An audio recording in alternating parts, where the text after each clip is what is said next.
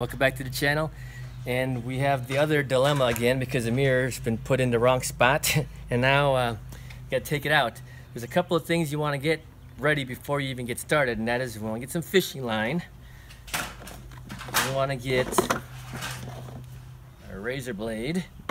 You want to have some tape, double stick tape, because you need to remount the mirror in the correct spot. Have some paper towel, because you need to wipe the mirror after you spray it with some sort of glass cleaner. Now this is a glass cleaner I like to use and the glass cleaner provides a lubricant as you're using the fishing line to sort of saw your way past the adhesive on here. Now luckily this particular mirror has the OEM adhesive which is a styrofoam backed adhesive so it's going to be very easy to remove. But if you use a 3M tape it's a little bit more uh, like difficult so you got to saw at it just a little bit more. But here we go.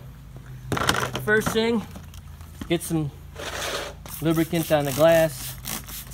I've already pre-cut the length of, get the soap in your eye, pre, pre-cut the length of um, string I'm gonna use. As you're cutting, this mirror might fall off, so you wanna be able to catch it and be conscious of the fact that you don't want it falling off.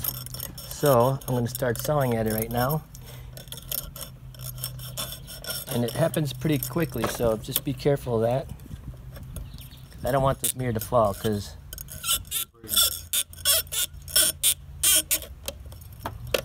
I'm just taking my time. And we don't want to break it. Now it's getting close. see it. So this is where you want to sort of grab it like that. Otherwise it's going to fall right off. So I was watching it from the back here as it's cutting and I knew when I needed to be able to grab that so it doesn't fall. Put it in a safe spot. This is where you want to grab the razor blade now. And the brand that of razor blade I like to use is, is uh, American Line. Get it at your local home center. It's nice because it has a good edge and it doesn't scratch the, the mirror. But you want to make sure you have some lubricant down there so your mirror doesn't get scratched. If you need to spray a little more lubricant, that's what you got to do.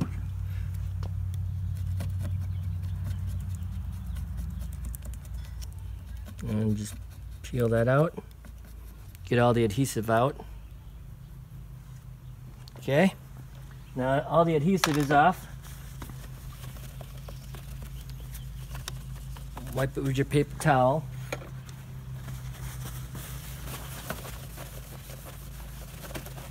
you see a little bit of residue left, then just respray and clean it up a little bit more. Just be very careful not to scratch. There. That's how you remove the mirror if you put it in the wrong spot. I'm going to work on the other side and we'll come back. All right.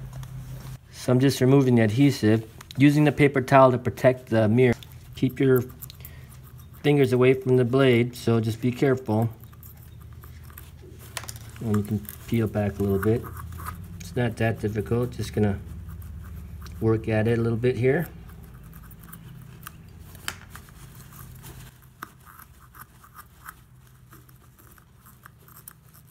There. It actually wasn't too bad, so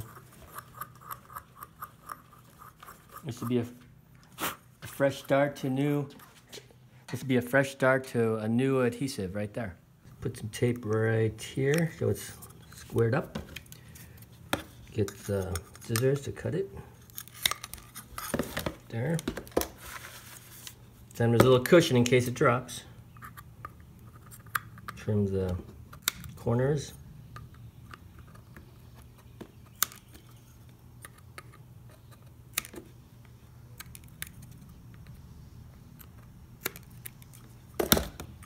And now this one is ready.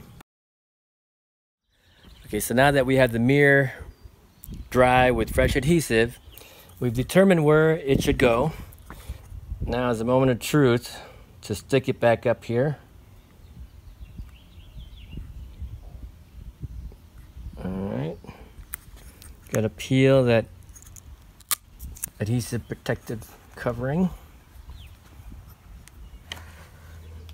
The mirror is on the mirror.